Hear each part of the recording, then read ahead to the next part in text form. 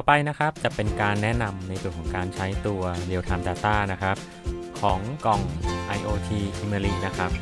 ตัว Real Time Data นะครับ เป็นการประกาศตัวแปรครับ ที่เราต้องการเข้าไปใช้ในส่วนของอุปกรณ์ต่างๆครับ ที่เอาตัว IoT Box i m e r i เนี่ยเข้าไปต่อร่วมด้วยนะครับในที่นี้เราใช้เป็น PLC FP0R ครับ เดี๋ยวเรามาดูในส่วนของ PLC FP0R ก่อนครับ ในส่วนของ ladder นะครับจะเห็นได้ว่าใน ladder ของเราเนี่ย ตอนนี้สวิตช์เป็น R100 สวิตช์ stop เป็น R110 แล้วก็ output เนี่ยเป็น Y1 ครับ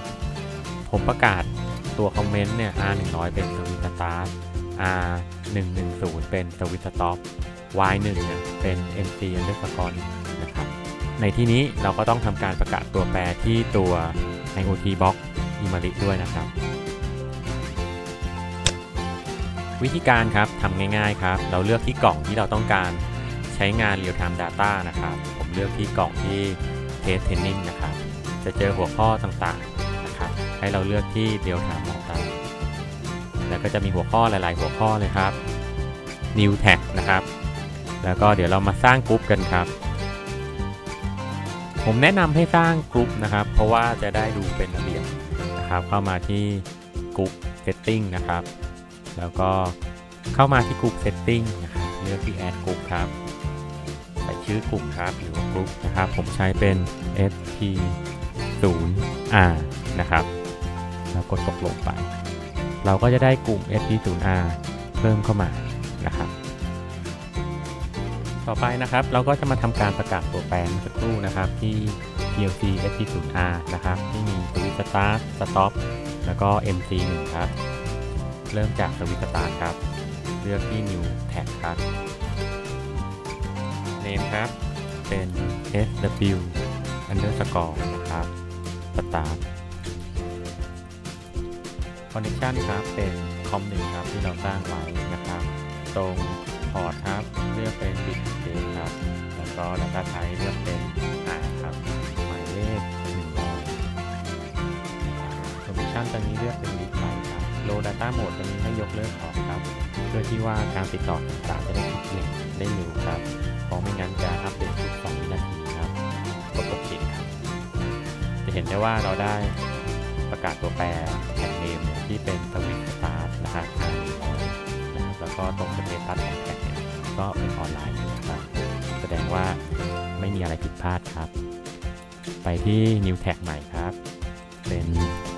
SW underscore stop นะครับ connection เป็น COM หนึ่งเหมือนเดิมครับพอร์ตเป็น bit address นะครับ data type เป็น R หมายเลข 110นะครับ read write เหมือนเดิมครับตรง permission low data mode เอาออกครับ กดโอเคครับต่อมาครับ เราเพิ่มแท็กครับเป็น mc underscore 1ครับ connection เป็น com 1ครับport เป็น bit address data type เป็น y ครับหมายเลขหนึ่งครับแล้วก็ตรง permission ตอนนี้เป็น read อย่างเดียวครับตรง log data mode ยกเลิกออก แล้วก็กดโอเคครับ เห็นไหมว่าเราก็สร้าง tag นะครับ ขึ้นมา 3 tag ก็คือที่เป็นสวิตช์ start R100 สวิตช์ stop R10 นะครับ แล้วก็ output ที่เป็น y1 เป็น mc underscore 1ครับ และเราสามารถเทสการทำงานหรือบังคับการทำงานได้จากตรงนี้เลยครับ เดี๋ยวจะลองย่อนะครับ หน้านี้ออกมา ย่อในส่วนของตัวโปรแกรมเขียน PLC FPWin GR7 ด้วยนะครับนี่นะครับ R100 r10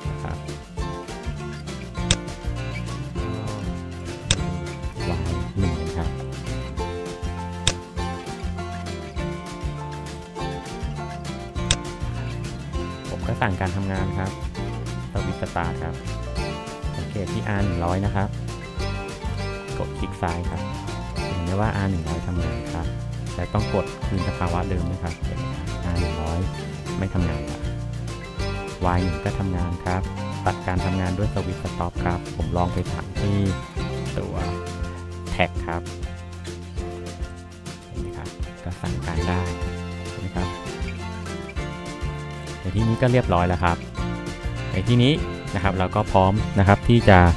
สร้าง tag เสร็จละ3 tag เพื่อที่จะไปเขียนสวิตกับแรมที่เว็บสกาด้าได้เลยครับในที่นี้เห็นได้ว่าง่ายจริงนะครับ